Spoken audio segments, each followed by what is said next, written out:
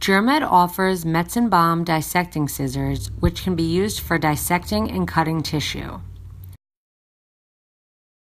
These scissors are not recommended for cutting sutures, drains, or heavy tissue. These scissors come straight or curved. Standard stainless steel are the most commonly used.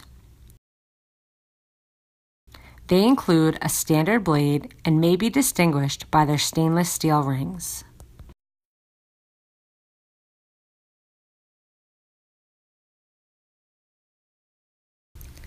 For more information, call, email, or visit our websites.